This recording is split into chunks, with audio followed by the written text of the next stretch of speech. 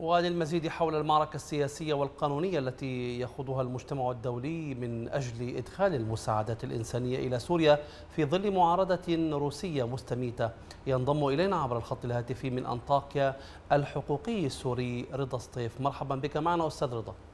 مساء الخير لك ولجميع المتابعين. أهلا بكم. على مدى أيام ماضية دارت معركة قانونية وسياسية حول هذه المسألة إدخال مساعدات إنسانية للسوريين. وهذا يدفعنا للسؤال في الحقيقة عن الأوضاع الإنسانية في سوريا خلال هذه الفترة. آه بداية سيدي الكريم اسمح لي أن آه أن أعبر عن فكرة تجول في خاطري. آه وهي أن يتم طرح هكذا مشاريع أمام مجلس الأمن. نعم. الوقت الذي الذي يرتكب فيه أفظع جرائم مرت على عبر التاريخ دون رادع من قبل روسيا وحلفائها آه، سواء ايران أو النظام السوري أو الميليشيات التابعه لها. آه، شيء يثير للغرابه أن يلتزم المجتمع الدولي بهكذا فيتو أو يأخذ بعين الاعتبار هكذا فيتو لتقديم مساعدات آه، إنسانية لشعب عازل لمهجرين عانوا الويلات من إجرام هذه الدول التي آه، تترنح اليوم بفيتو لقطع طريق المساعدات أو لمنع قوت العيش عن آه، هؤلاء المهجرين. طبعا الواقع الإنساني سيدي تعلمون جميعا منذ فصل الشتاء الماضي كيف كان الحال، كيف لجأت الناس إلى تحت الأشجار إلى العراء في الوقت الذي لا يوجد فيه مأوى أكثر من مليوني نازح خلال أسبوع آه، تم تشريدهم من قبل آه، النظام الروسي والنظام السوري نعم. وداعميهم لكن نحن نتحدث عن ملف إنساني وهذا الملف الإنساني وهذه التضحيات أو يعني هذه القضايا الإنسانية أصبحت ضحية أجندات سياسية دولية متناقضة بعيدا عن المواثيق الدولية والحقوقية التي ألزمت جميع الأطراف المتحاربة بتجنيب المدنيين لهذه الصراعات. بماذا تفسر نعم. ذلك؟ آه، سيدي الملف الإنساني منذ البداية كان آه، هو ركن أساسي لتصفية الحسابات فعندما يتم خسارة منطقة في في سواء سياسيا أو عسكريا يتم الانتقام من المدنيين.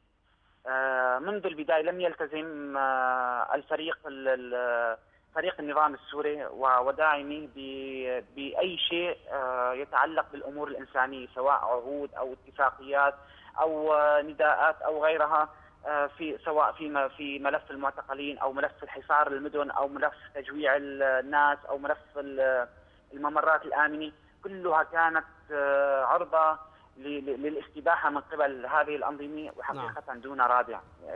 آه، هذا الأمر لا يتعلق بفيتو ولا يتعلق بمجلس أمن. هذا الأمر بحاجة لمصداقية من المجتمع الدولي فقط.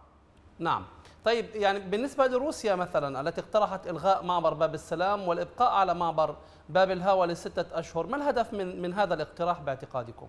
أه سيدي كما ذكرت في سؤالك السابق هو تصفية حسابات قولا واحدا نعم. تصفية حسابات في نقطتين النقطة الأولى أن باب السلام هو المعبر على المناطق التي آه، تقع تحت النفوذ التركي حاليا التي تم تحريرها من قبل الجيش الوطني وهي تحت سيطرة الجيش الوطني والنفوذ التركي بآن واحد. فتصفية الحسابات السياسية للضغط في الملفين السوري والليبي آه، حتى آه، طال هذا الملف الإنساني بهذا الأمر.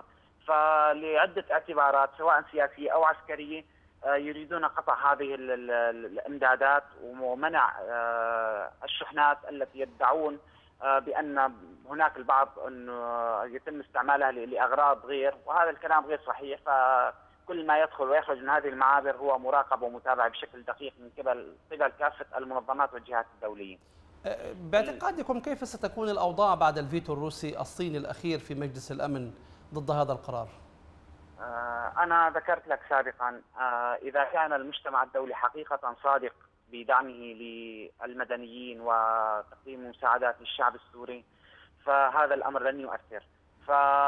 فلو أخذنا بعين الاعتبار بعين الواقع وليس بعين الاعتبار أن أمريكا لم تلتزم هي والدول الاوروبيه بهذا بهذا الفيتو ولا زالت تدخل مساعدات وتقدم العون للمهجرين أو النازحين في هذه المناطق.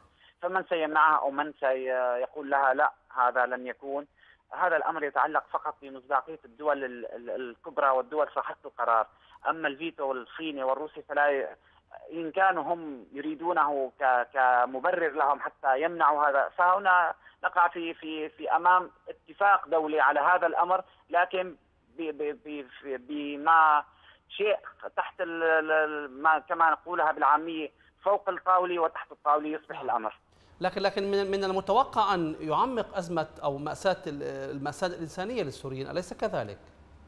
أكيد طبعا هذا هذا الشيء آه، فهم بأسوأ حال حاليا وخاصة في ظل في ظل الظروف التي مروا فيها سابقا آه، إضافة إلى جائحة كورونا التي آه، أثرت بشكل جدا سلبي إضافة إلى ارتفاع أسعار الصرف العمله السوريه التي لا زالت نوعا ما يتم تداولها عدم وجود فرص العمل الخزان البشري المضغوط بشكل غريب لا يوجد فرص للعمل لا يوجد مكان للناس حتى مأوى أو آه، أي أي فرصة لأخذ النفس من قبل هؤلاء نعم. المهجرين لا يوجد ابدا. نعم. وصلت الفكرة أشكرك جزيلا من أنطاكيا الحقوقي السوري رضا سطيف.